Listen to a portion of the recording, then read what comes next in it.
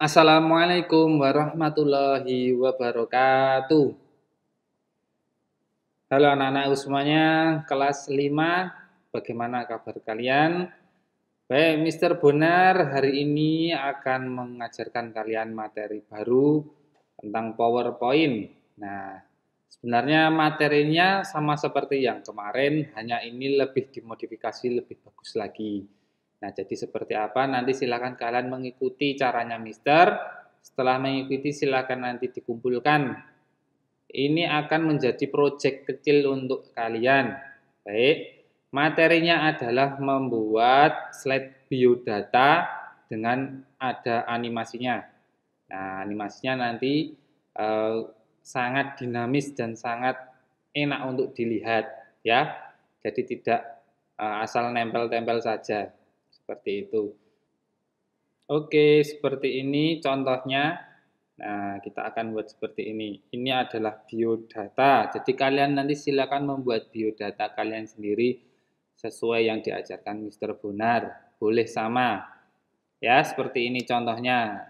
Nah, ini akan otomatis. Nama, umur, kelas, absen, hobi. Lalu di sini ada tulisannya biodata.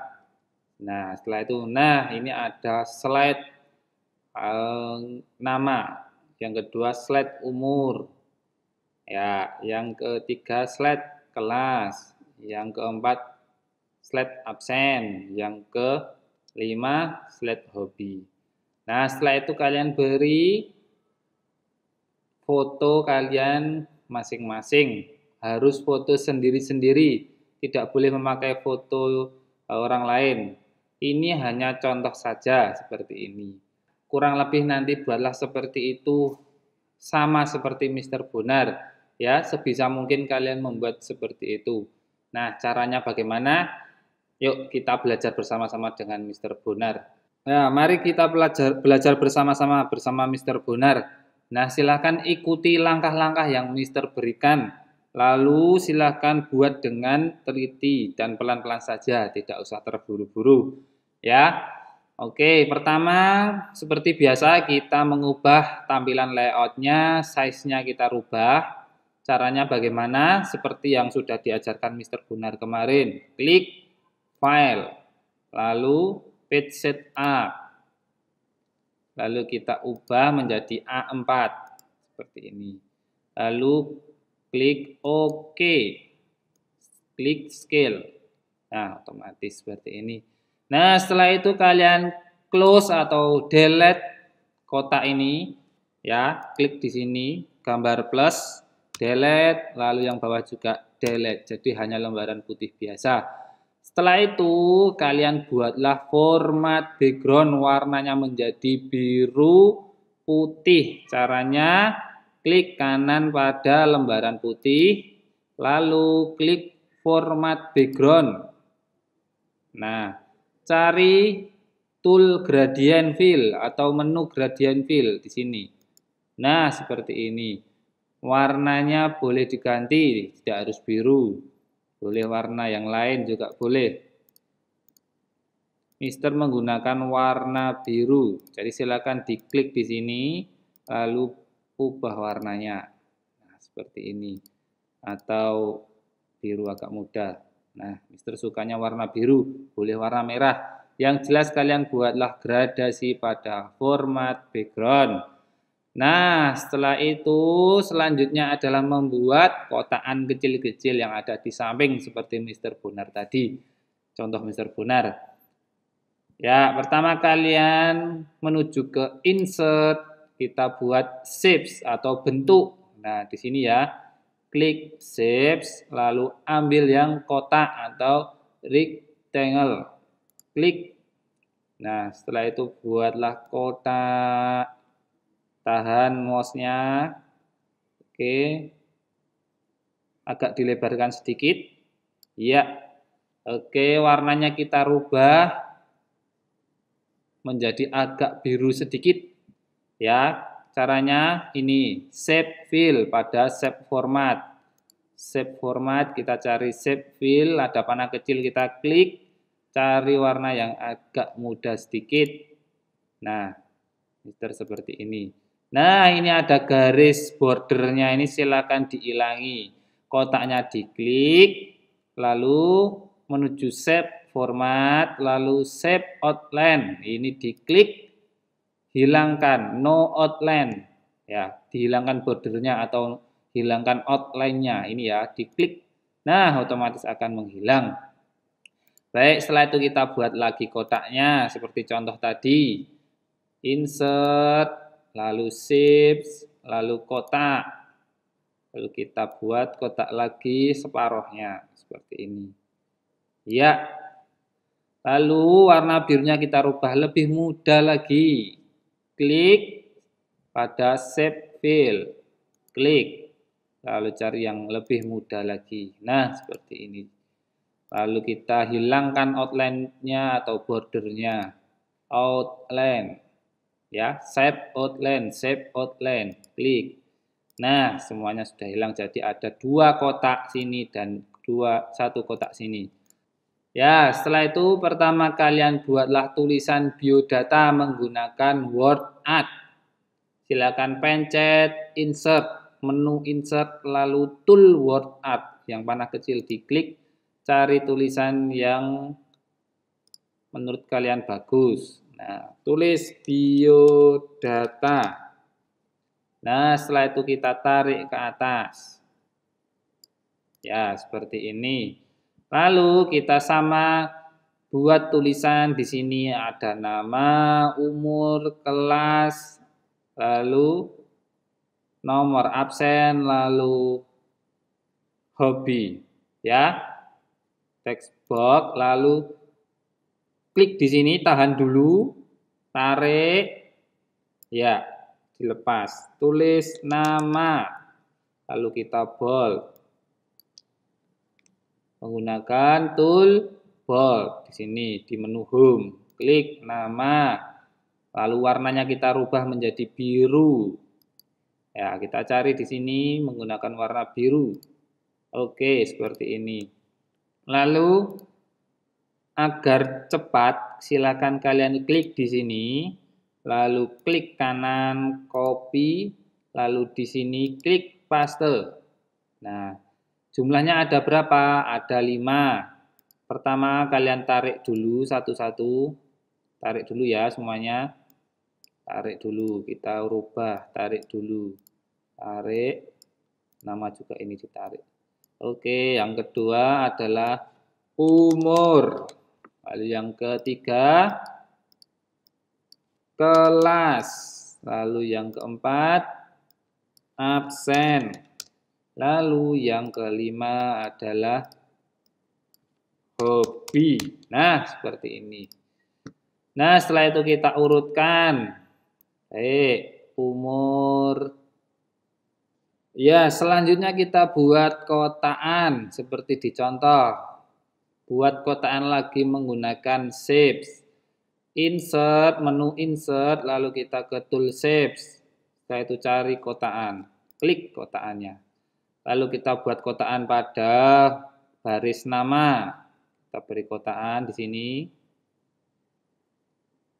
Kira-kira, iya seperti ini. Oke. Setelah itu, copy klik kanan, copy, lalu pastekan di sini. 5 kotak, paste. Oke, kita tarik satu-satu dulu, kita tulis, ya.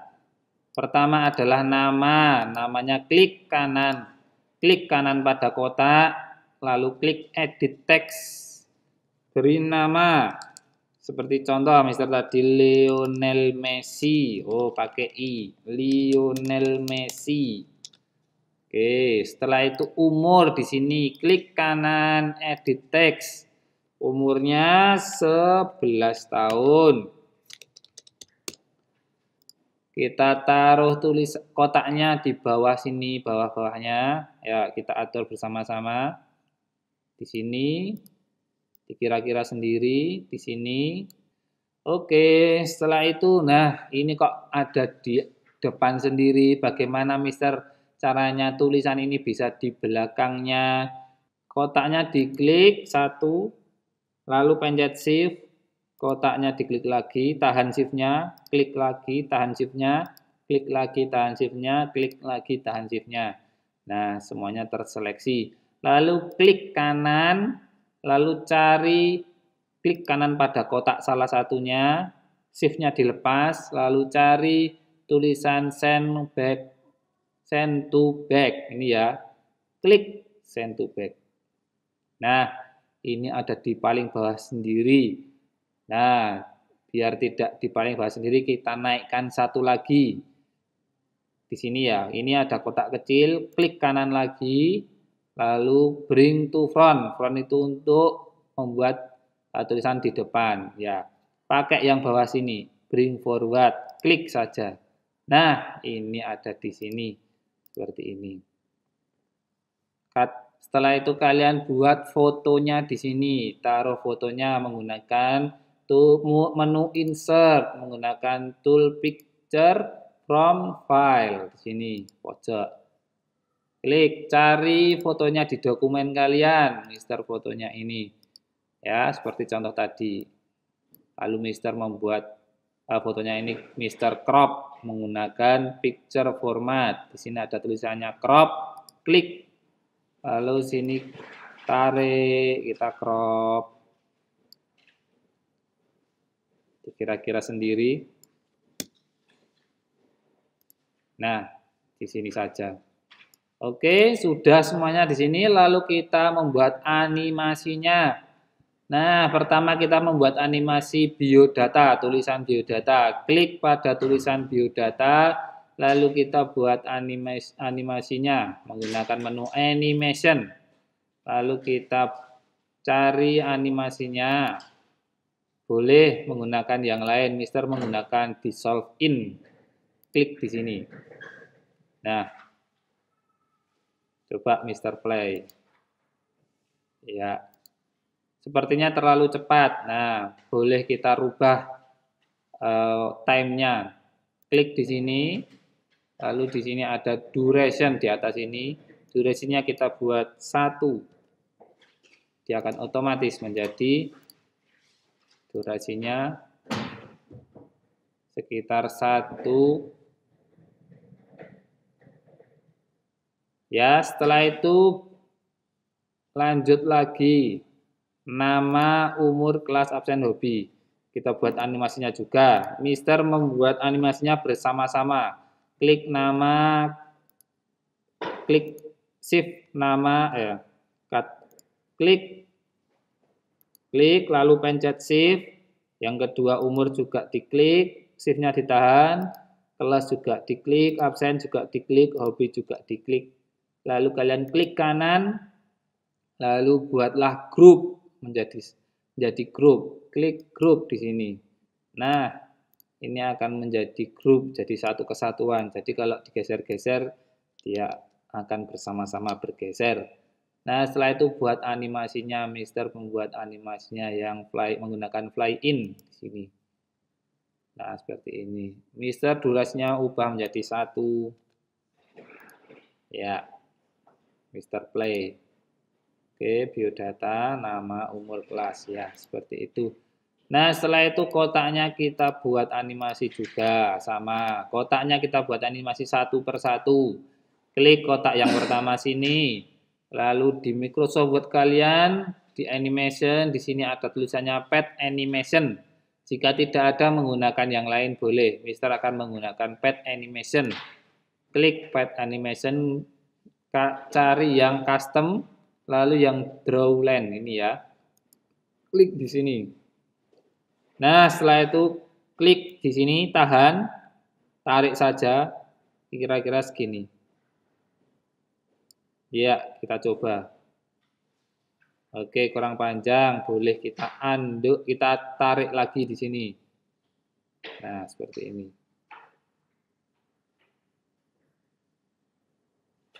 Ya, sini. Jangan sampai keluar. Ya, kita coba. Play. Nah, seperti ini. Lalu juga yang bawah sama menggunakan pet animation, draw line. Lalu tarik tarik dari tengah. Ya, dibuat sejajar seperti yang di atas. Ya, klik lalu pet animation. Draw line. Cari tengah, geser lagi. Oke, seperti ini. Ya, setelah itu kita buat fotonya juga dianimasikan menggunakan Mister menggunakan animasi yang lain. Nah, Mister pakai center revolver. Ini ya, klik. Nah, seperti ini. Kita buat satu durasinya sama. Oke. Nah, ini semuanya kalian harus menggunakan durasinya satu atau dua, jangan 0,50, jangan di bawahnya satu, nanti terlalu cepat. Jadi kalian harus di atasnya satu atau boleh satu untuk durasinya. Oke, segini dulu. Coba kita bu, uh, kita buka menggunakan presentasi, tool presentasi di sini di bawah ini atau pencet F5 pada keyboard kalian F5.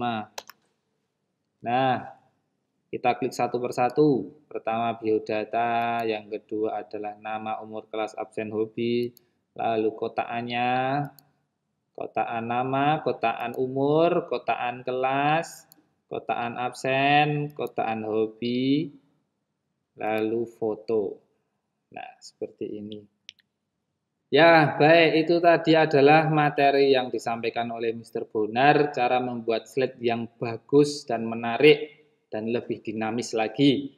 Ya, seperti itu tadi. Sobat, coba kalian tirukan Mr. Bonar eh, sebisa mungkin, semampu mungkin, kurang lebih seperti Mr. Bonar buatnya.